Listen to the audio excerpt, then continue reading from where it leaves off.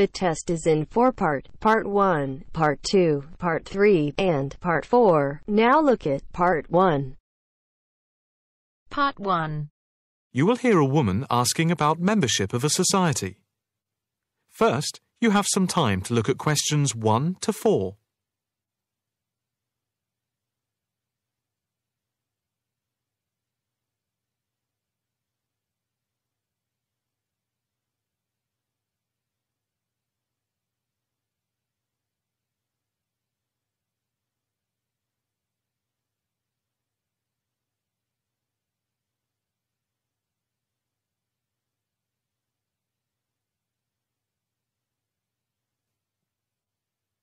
Now the test will begin. You should answer the questions as you listen, because you will not hear the recording a second time. Listen carefully and answer questions 1 to 4. Hi. I'd like some information about joining the International Arts Society. That's no problem. What exactly can I help you with? First of all, I'd like to know about the membership fee. Well, there are two types of membership. Can you tell me what they are? First, there is lifetime membership, which means that you can have access to all the facilities at the Society itself and all exhibitions. Plus, you can have discounts to various events at affiliated arts organisations here and abroad. And on top of that, you can use the lifetime members' room. How much is that type of membership? Well, the lifetime membership fee is £1,537. Hmm. OK. It's rather a lot to pay in one go. Uh, what about the other membership? The ordinary membership, that's £193 per year. That sounds a bit more reasonable. Um, what does that entitle you to? You can visit the Society, including the exhibitions, the library, and follow the arts programmes on weekdays during the opening times from 10am to 9pm, and at the weekend between 10am and 5pm. On Saturday, if there's a special event like a lecture or restricted showing of an exhibition, then it opens until 9pm. So, what is the difference between this and the lifetime membership? In the long run, you save money as you're making a one off payment. And you have exclusive use of the lifetime members room. OK. Mm. What arts programmes do you run? Well, the Society has a very extensive programme to cater for all tastes. There's a series of exhibition rooms for the permanent collection of paintings, watercolours, and sculpture. And then there's a new exhibition area which opened at the beginning of the year. And we run a series of courses and lectures to go with the exhibitions. Can I ask about the lectures? What is scheduled for this year? The latest list is in this leaflet. Oh, yes. That looks very good. Are all the exhibitions, etc., free if I join? Yes, everything is free. That's fair enough. I think in that case I'll join.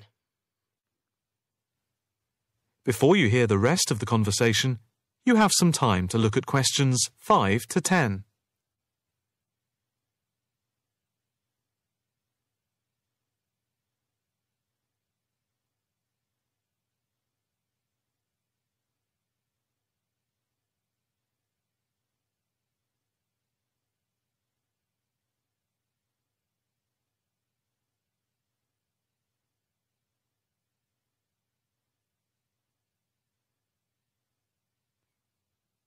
Now listen and answer questions 5 to 10.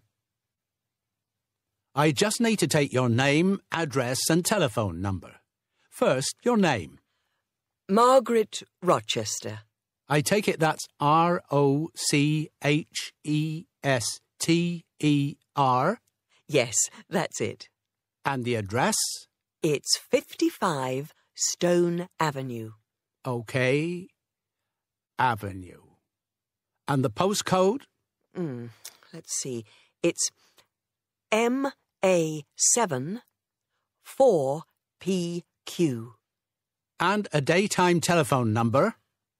Can I give you my work number? Yeah, that's fine. It's 0207 895 2220 and the extension is 6633. Can I pay by credit card? Yes, of course. Do you want to pay for the full year at one time or by monthly instalments? You pay £4 extra a month if you pay by instalments. OK. I think I'll pay by monthly instalments. Right. If you just complete this form, then we can set up the monthly payments. OK. If you just put your PIN number in the machine, I can deduct the first month's payment. Right. That's gone through. Here's your card. I now just need to take your photograph over here, and then I can put it on your membership card. OK. That's it. I'll just print out your membership card. Right, here you are. Thank you. By the way, can I bring any friends to the Society exhibitions and lectures? With the ordinary membership, we can issue a day pass once a fortnight, which allows you to bring a friend in. But you have to accompany them. Thank you. Can I go in now? Yes. You just swipe your card here. That is the end of part one. You now have half a minute to check your answers.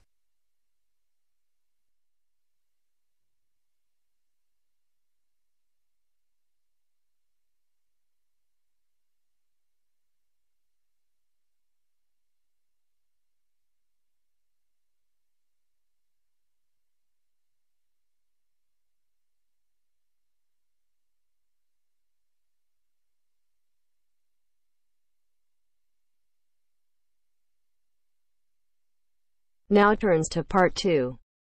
Part 2. You'll hear a tour guide talking to a group of visitors about Bestley Castle.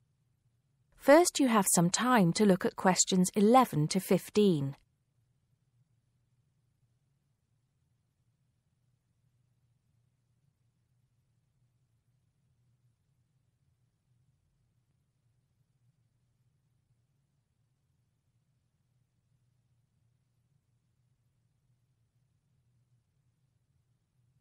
Now listen carefully and answer questions 11 to 15. Welcome to Bestley Castle. It's nice to see so many of you here today. Before we go in, I'd like to tell you some information about the castle, the things to see and do, and the facilities available to you in the grounds. We'll do our best to make this a truly memorable visit.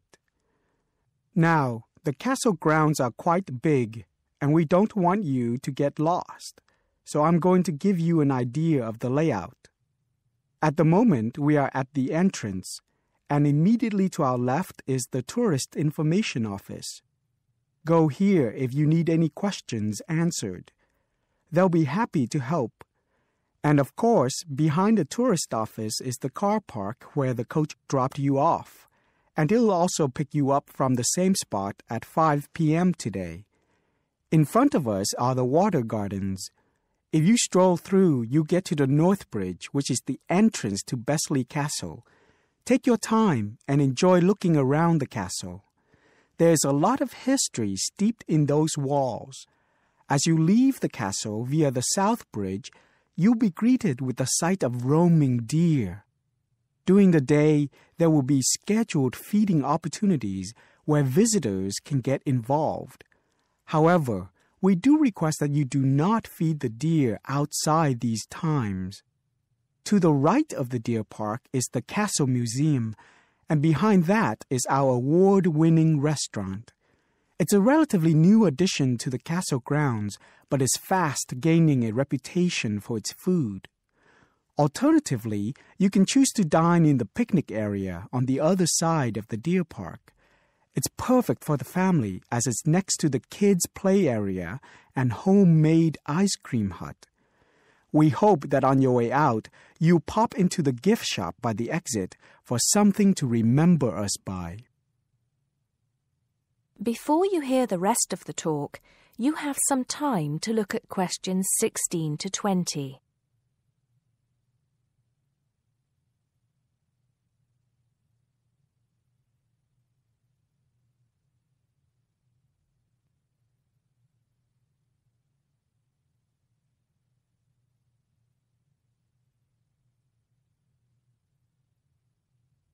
Now listen and answer questions 16 to 20.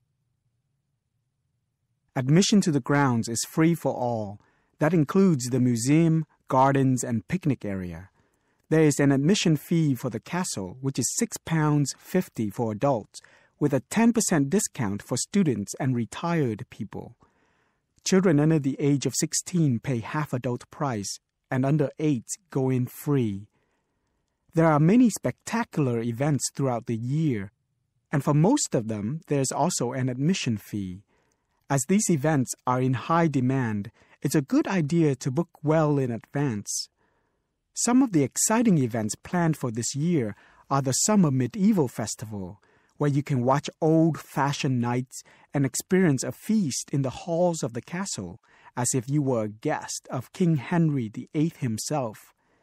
There are several concerts planned this year too, including a rock concert at an admission price of £10 per person and a special jazz concert which is free to the public.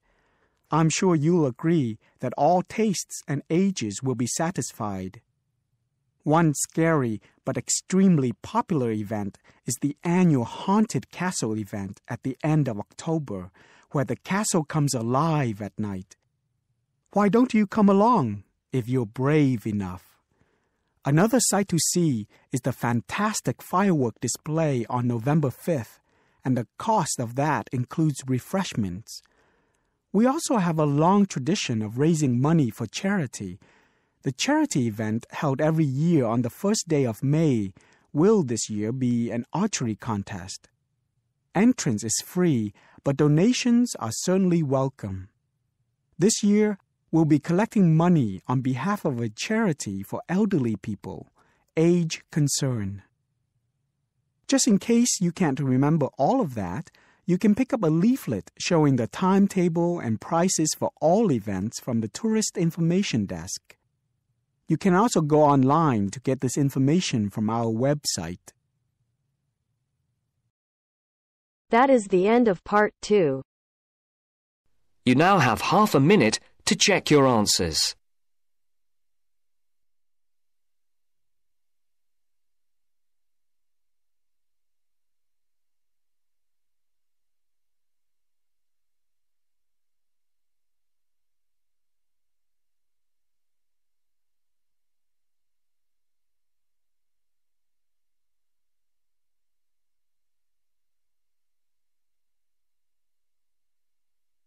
Three. Part 3 You will hear a talk given by a lecturer to a group of civil engineering students on the reed bed system for sewage treatment. First, you have some time to look at questions 21 to 24.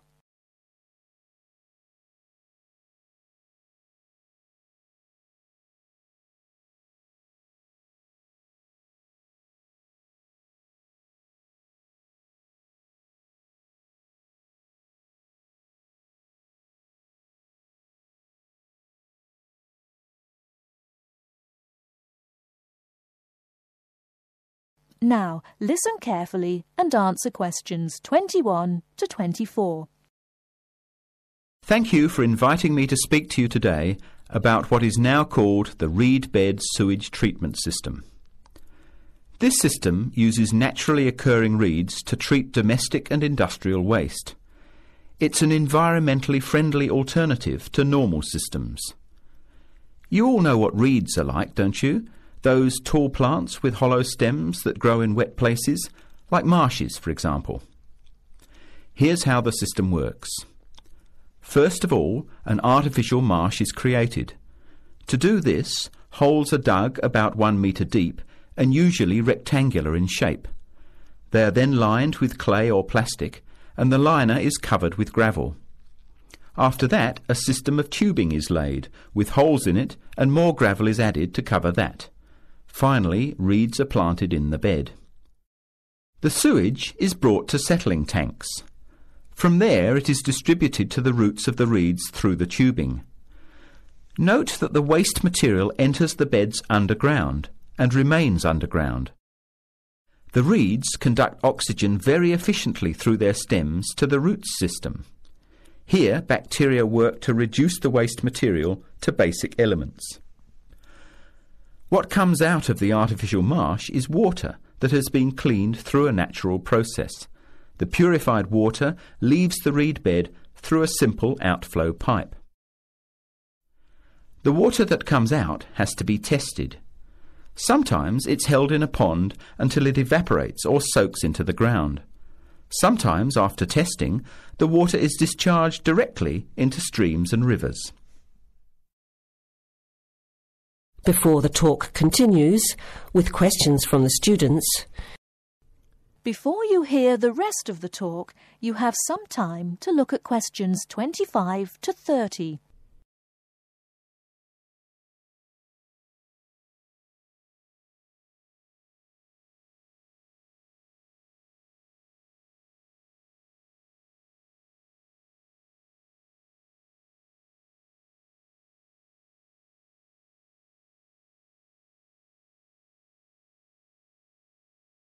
Now listen and answer questions 25 to 30. The reed bed system originated in Germany in the 1970s, and installations have been built in a number of countries throughout the world. To give you an idea of the size and appearance of a reed bed installation, an area of 3 by 5 metres approximately would be adequate for a single house. It would look like a pond overgrown with reeds. There are cities with 150,000 people in Germany whose entire sewage treatment requirements are served by reed bed installations which extend for 10 to 20 hectares. There are two wonderful environmental advantages. First of all, reed bed systems are natural composters. As time passes, high-grade soil builds up in the beds. The soil can be removed and used for agricultural purposes. Soil produced from waste containing heavy metals would of course have to be tested and the toxic material removed by chemical processes. An additional advantage is that the reed bed can function exactly as a marsh, providing a healthy natural home or habitat for waterfowl and other birds, insects, reptiles and mammals.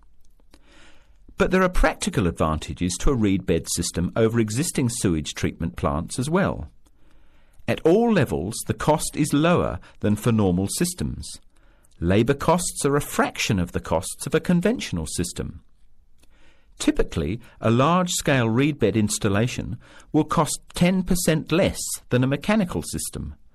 They require little maintenance, and unlike mechanical systems, the efficiency of reed beds increases over time. But before we go any further, you must have some questions. Maybe this sounds too good to be true. That's exactly what I wanted to ask. If these systems have so many benefits, why aren't they more popular? Why don't we see them everywhere? As I said, the technology is now almost 40 years old. Demonstration projects of all types have been built and monitored and are slowly convincing regulators of the advantages of the system. But you have to understand that regulating authorities are by nature conservative and resist change. Typically, there's a lot of opposition to these systems by manufacturers and by everyone involved in maintaining the conventional systems. Reed bed systems require fewer staff to operate, so there would be a decline in the workforce. Therefore, unions would resist the change as well. What happens to reed beds in winter? Does the efficiency decrease? The above ground part of the plants die back in cold weather, but the roots remain alive and active, and the system continues to work just as effectively in winter. As soon as the weather warms up, new reeds appear and grow quickly. Is there a problem with mosquitoes in these ponds? Well, they're not exactly ponds with standing water, The beds look more like a field covered with long grass. The soil is moist, but not like a swamp, so there would be no more mosquitoes than in any other field. Remember, the effluent enters the beds underground and remains underground. OK, let's get into some of the technical details now, and I'll answer questions as they come up. That is the end of part three. You now have half a minute to check your answers.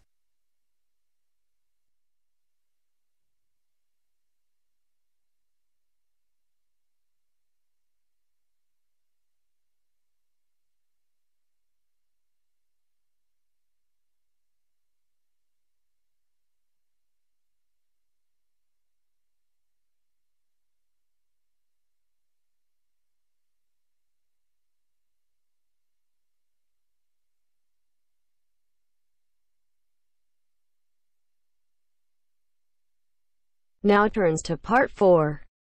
Part 4. First, you have some time to look at questions 31 to 40.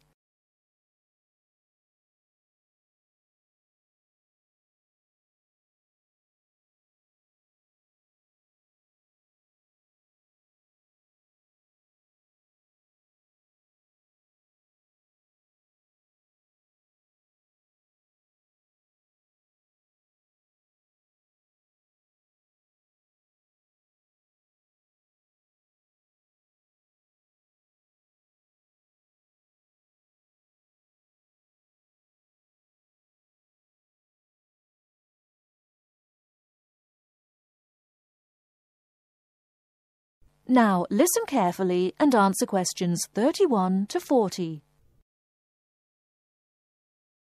In today's lecture on international trade, I'm going to look at the issue of protectionism. I'll start off with a definition of protectionism and then go on to look at the methods countries have used to protect their economy. Following this, I'll look at the advantages and disadvantages of protectionism when compared to free and open trade. So let's define protectionism. Protectionism, at its simplest, is the opposite of free trade. It is the practice of protecting domestic industries from foreign competition by using import duties or quotas. Options available to protect the economy are tariffs, embargoes, subsidies and quotas. Let's examine these in turn with some examples. Tariffs are one form of protectionism. It is a tax which is applied to imported goods, but not to home-produced goods. The idea is to make the imported goods more expensive than the home-produced ones, so that consumers buy home-produced items. An ongoing example of protectionism via tariff is between Britain and the USA. Britain buys most of its bananas from Commonwealth countries, largely in the Caribbean. However, the USA owns banana plantations in South America. In 1999, Britain refused to buy bananas from South America, so the US government put tariffs on some British-produced goods. The most famous example was a tariff of 100% import tax on wool products from Scotland brought into the United States. The next method of protectionism is embargoes. An embargo is a complete ban on the import of certain goods. For example, following the Cuban Revolution in the 1950s, the USA banned the import of Cuban cigars. Unfortunately, Cuban cigars are the finest in the world, and there is consequently a thriving black market in Cuban cigars in the USA. As we can see in the example, embargoes can lead to a black market, or unofficial economy, if people want the goods badly enough. Subsidies are a way governments support industries at home with money or tax breaks in order to allow them to compete better with foreign companies. In 1994, the French government provided its national airline with a £2 billion subsidy in order to help it compete with low-cost airlines. However, subsidies can have the effect of making home producers uncompetitive and inefficient. Finally, let's look at quotas. A quota system allows a certain quantity of goods to be imported from other countries. The European Union has had quotas on textiles and clothing for decades to protect its textile industries from developing countries, especially India and China. Understandably, developing countries say that this is unfair and against the principles of free trade. Let's move on now to the arguments for and against protectionism. For trade to flourish between countries, the benefits from trade need to be equally balanced. Where a country feels that it's not getting a fair share of the trade, or that it is somehow disadvantaged, it might employ one or more of the methods of protection. There are at least four arguments that may be given for using protectionism. Firstly, to protect employment in the home country. The simple view is that if imports are stopped, then jobs will be saved and even created at home. Secondly, to prevent unfair competition. It is often said that developing countries have the advantage of cheap labour costs in their countries, and that they use this to undercut the price of the same goods produced in richer nations. A tariff might be applied to even out this imbalance. Thirdly, to protect new industries. A new industry, particularly one in a developing country, might not be able to compete with long established industries elsewhere. Tariffs and quotas give new industries the chance to build up production to the point where they can compete. Fourthly, to raise money. Tariffs were once used as a way of raising revenue for the government. In modern countries, they are now seldom used for this purpose as the damage to trade often outweighs any immediate benefits. Now for the arguments against protectionism, which are perhaps simpler to summarise. Although trade restrictions might help a country for a short period of time, their overall effect is a negative one.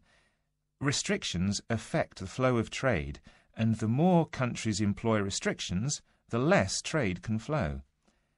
In the long run, no one benefits from trade restriction because if one country puts restrictions on another country, the other country then puts their own restrictions on the first country. This affects the first country's exports, and as the country finds it difficult to export goods, then unemployment is the result. So, protection tends to help only the protected and can hide inefficient manufacturers. That is the end of part 4. You now have half a minute to check your answers.